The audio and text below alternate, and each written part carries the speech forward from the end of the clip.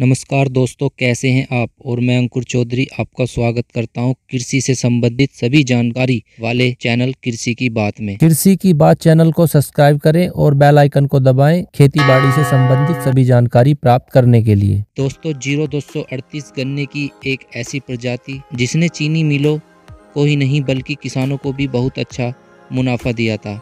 लेकिन अब इस प्रजाति में रोग और कीटों का आक्रमण इतना बढ़ गया है कि इसकी पैदावार बहुत ही कम होने लगी है और लागत अधिक आने लगी है। इसलिए 10 साल के लंबे रिसर्च के बाद गन्ना शोध संस्थान शाहजहाँपुर ने नई तीन गन्ने की प्रजातियाँ विकसित की हैं और कहा गया है कि इन प्रजातियों को किसी भी मिट्टी में उगाया जा सकता है।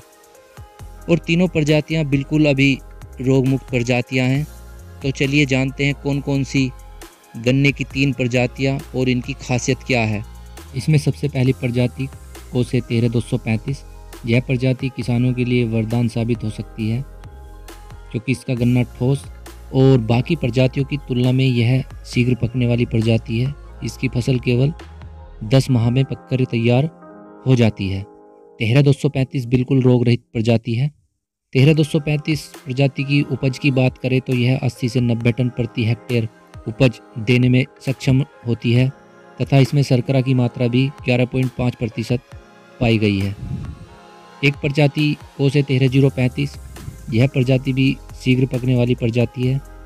इसका गन्ना ठोस और काफ़ी लंबा होता है। इसकी उपज 80 से 90 टन प्रति हेक्टेयर प्राप्त की जा सकती है। इसका गन्ना लंबा, ठोस और कलर हल्का बैंगनी आकार का होता है। गोले की मात्रा भी इस प्रजाति में और प्रजातियों के मुकाबले ज़्यादा देखी गई है। इस प्रजाति में शर्करा बारह प्रतिशत तक की मात्रा पाई जाती है और इस प्रजाति में कीट और रोगों का प्रकोप बहुत ही शून्य है।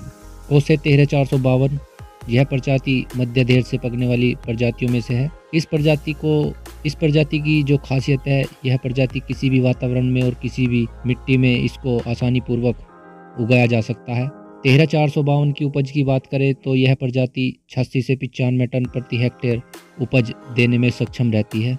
गन्ना शोध संस्थान द्वारा बताया गया है कि गन्ने की यह तीन नई प्रजाति की जो खोज की गई है, उनमें खास बात यह है कि यह प्रजाति रोग मुक्त के साथ साथ अच्छी पैदावार देने में सक्षम है। किसी भी मिट्टी में इनको उगाया जा सकता है। अगर आपको इन प्रजातियों के बारे में कोई बात या सुझाव आपके मन में हो तो हमें कमेंट बॉक्स में अवश्य पूछ सकते हैं। वीडियो अच्छी लगी हो तो चैनल को सब्सक्राइब ज़रूर करें और बेल आइकन को भी दबा लें, जिससे आने वाली कृषि की सभी जानकारी आप तक पहुँच सके।